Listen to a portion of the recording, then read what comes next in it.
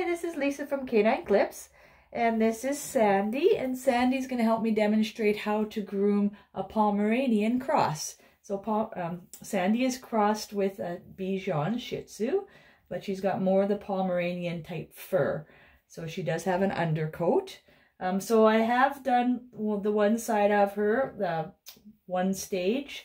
So she has had a bath, and then this is how she came in, nice and full. Um, it's hard to brush, comb through this fur because she does have an undercoat, which is very thick underneath.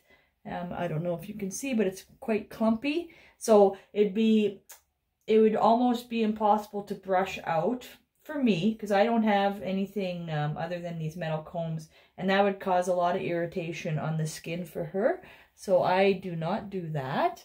So um, what we have been doing with her, and she's been cut many times with me before is that we do um, groom her down. But the owner tries to keep her as long as possible, as uh, I do as well, because uh, it's always nice to have a little bit of fur, especially on any Pomeranian. You don't want to shave them right down unless you absolutely have to.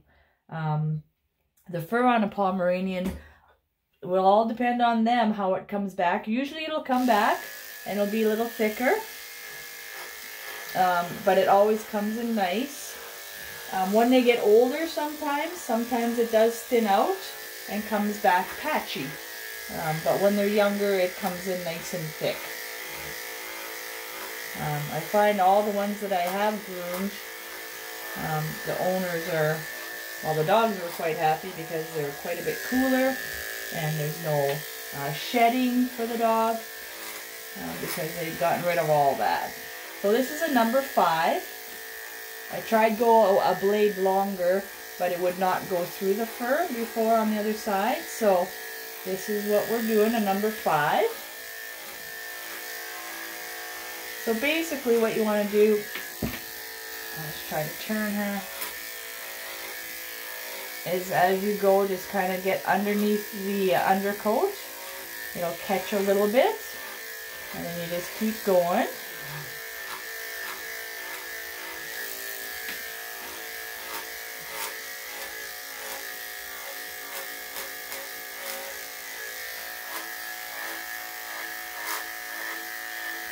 And I always go with the body. You don't want to go against it. You can, but that'll make the cut a lot shorter.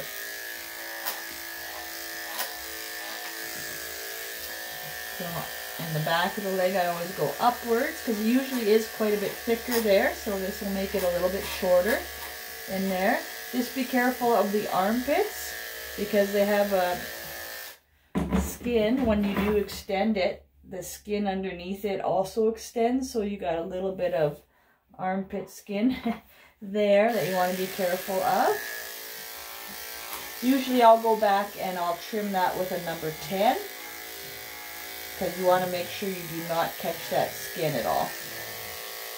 And that area is basically always proning um, to uh, matting as well. So that's a, it won't matter if you do trim it a little bit shorter. It's tucked underneath there and it is prone to um, matting anyway, so then that way it just helps prevent that from coming as the other hair grows out.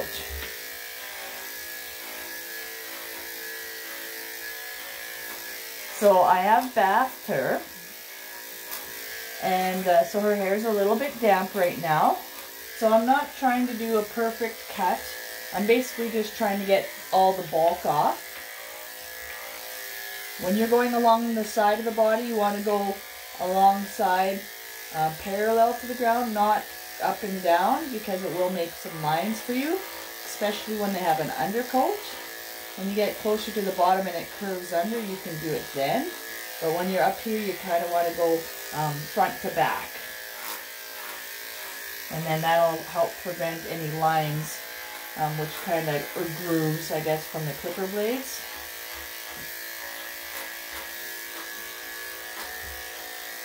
When I go underneath the belly, I kind of tug the hair and pull it out so I can get that.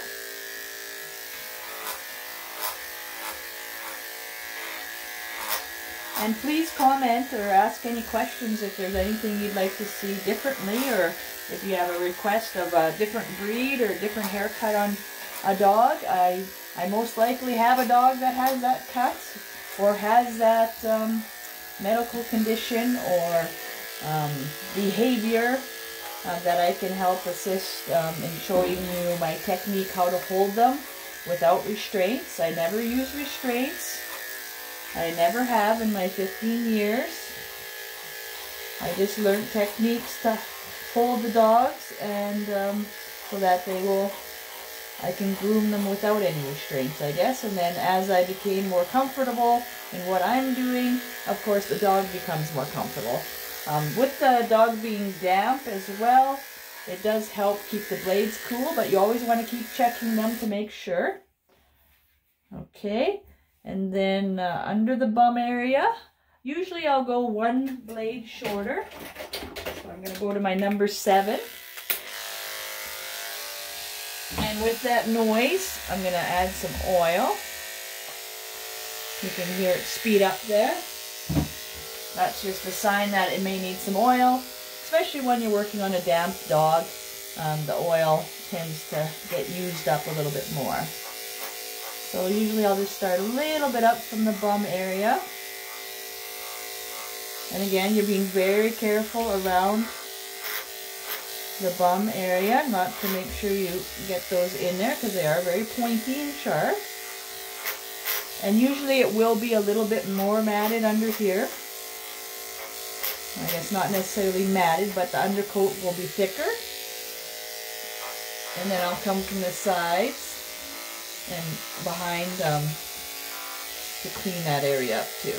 So again, if, and if it is matted in here, which it, it, it can be, I'll use a number 10, which is the shortest blade, just in that area.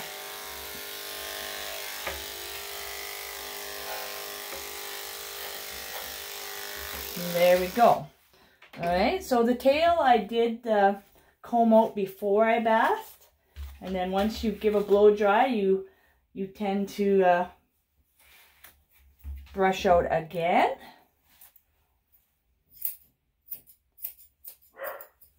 And just kind of layer it that way as it goes.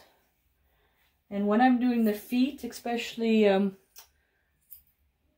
when you're worried about the rest of the body staying longer, you just kind of blend it with the body. So you go out from there.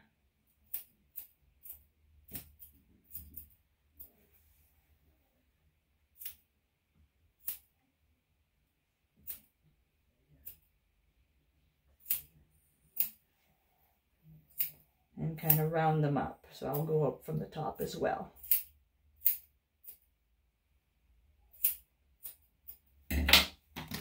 All right.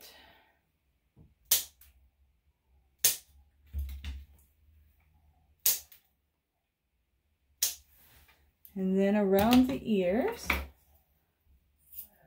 I'll just trim in there. And trim around with the scissors. Kind of blend it, okay? So on this side, was the one I just did. This is the one I did before. So what I will do, so you can tell the difference just from the first cut and then to the second one. So after I blow dry, I'll come back again. So after I do the initial cut, I'll come back again and I'll blow dry it. And then I will use the blades once more just to clean up anything that I may have missed.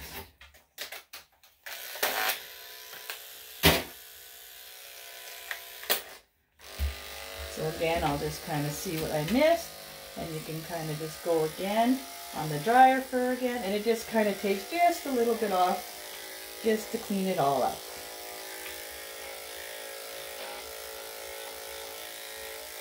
So you're actually doing two cuts on the dog. And there we go. So there's how you do a, a full groom on a Pomeranian cross and I hope you enjoyed it. Please let me know if there's anything else you'd like to see. Um, subscribe to my channel to see more videos like that. I'd appreciate it. I appreciate your time and I hope you have a great day. Bye-bye.